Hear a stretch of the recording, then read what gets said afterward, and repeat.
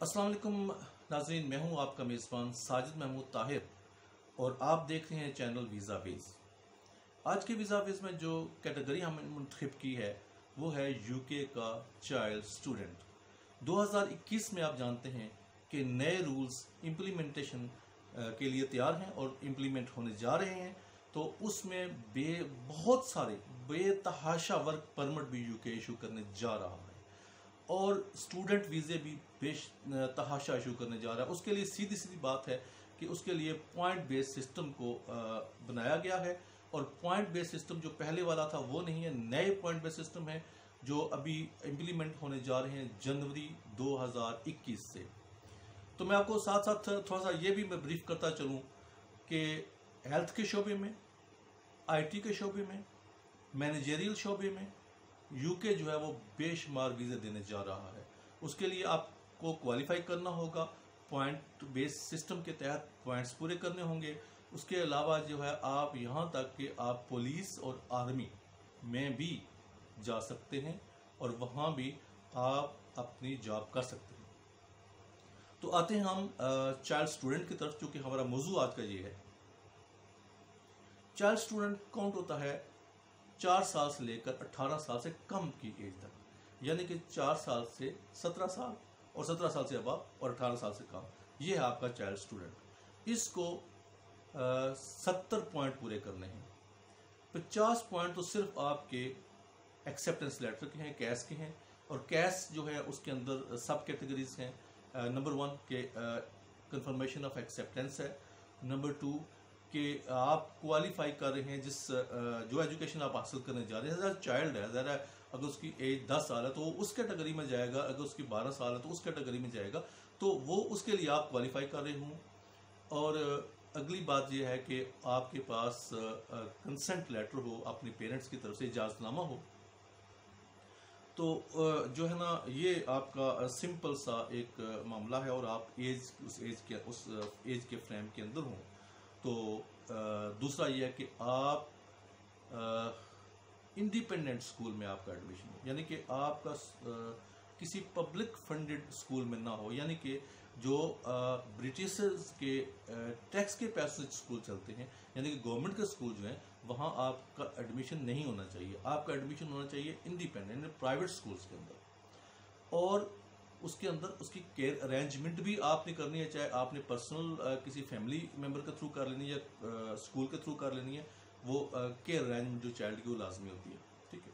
ये है बेसिक और इसमें आपके पॉइंट आएँगे फिफ्टी पचास पॉइंट बीस पॉइंट आपको मेंटेनेंस के मिलेंगे, यानी कि जो आप बैंक से प्रोवाइड कर रहे हैं, जिसमें आपके, आप तमाम अखराज जो है मीट कर रहे हैं ट्यूशन फ़ी मीट कर रहे हैं लिविंग मीट कर रहे हैं, और केयर अरेंजमेंट जो है इंक्लूडेड होती है, वो भी मीट करें। तो इस तरह आपके सत्तर पॉइंट हो जाएँगे। और सत्तर पॉइंट पे आप अप्लाई कर सकते हैं। जब अप्लाई करेंगे तो सोलह साल की तक, यानी कि चार से सोलह साल की तक तो सबसे मज़े की न्यूज़ ये है कि उसमें आपका कोई इंटरव्यू नहीं है। ठीक है ना? मज़े की बात?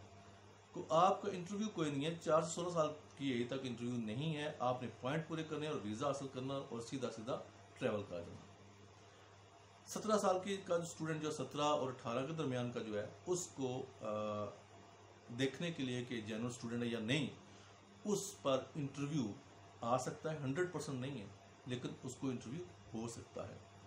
तो इस तरह आप यूके में स्टूडेंट वीज़े पे जा सकते हैं। अब इस वीज़े के फ़ायदे क्या हैं? नंबर वन सबसे बड़ा फ़ायदा ये है ये भी है कि आपको कोई इंग्लिश टेस्ट पास नहीं करना पड़ेगा। इंग्लिश रिक्वायरमेंट इसकी है ही नहीं है ठीक है? और दूसरा ये फ़ायदा है इसका कि आपका ये वीज़ा अगरचे लीड्स टू सेटलमेंट नहीं है। मतलब आप इसमें सेटल तो नहीं हो सकते, लेकिन आपका वीज़ा स्विचेबल है, आप इन कंट्री वीज़े को स्विच कर सकते हैं अगली क्लासेस के लिए, किसी और वीज़े के लिए, एवं दो शादी भी कर सकते हैं। तो चूँकि ये वीज़ा स्विचेबल है, इसलिए आप डाइवर्ट होके सेटल भी हो सकते हैं। यानी कि आप डाइवर्शन से दूसरे रूट के तहत आप सेटल भी हो सकते हैं। तो ये भी एक मज़े की न्यूज़ है। वहाँ आपके लिए और क्या रिक्वायरमेंट हैं? आपको बायोमेट्रिक तो आपके होने होने हैं। और आपको हेल्थ सर चार्ज जो है वो पे करना पड़ेगा। आप डिपेंडेंट नहीं बुला सकते हैं इस वीज़े पे। और इसके अलावा जो है वो आप मेंटेनेंस वगैरह वो आपको पे करनी पड़ेगी। और इसकी फ़ी जो है एप्लीकेशन फ़ी ये आपको पे करनी पड़ेगी। तो हम इस नतीजे पहुँचे हैं। कि सबसे ज़्यादा बेनिफिट 16 साल की एज का लड़का उठाएगा 15 साल की एज का लड़का उठाएगा, कि क्योंकि उसके आगे स्टडी के बहुत कम साल रहते होंगे। ठीक है दो चार साल दो तीन साल वो स्टडी करके वो अपनी अमली लाइफ में जा सकता है और अपना वीज़ा जो है वो स्विच कर सकता है किसी सेटलमेंट के वीज़े में। तो ये बहुत मज़े की बात है। सत्रह साल की एज का भी सेम ही है, लेकिन उसमें थोड़ा सा ये आ गया है कि आपको इंटरव्यू जो है वो एम्बेसी कर सकती है। उम्मीद है आपको आज की ये वीडियो पसंद आई होगी। ये शॉर्ट सी वीडियो सिर्फ़ इसलिए हमने बनाई थी कि सिर्फ़ और सिर्फ़ हम स्टूडेंट चाइल्ड स्टूडेंट की कैटेगरी पे बात कर सकें। अगर आपके जहन में कोई भी क्वेश्चन है तो आप नीचे गए दिए गए कमेंट्स के सेक्शन में आप अपने सवाल कर सकते हैं। होपफुली हम आपका विद इन ड्यू कोर्स जवाब देंगे। वीडियो देखने का बहुत शुक्रिया।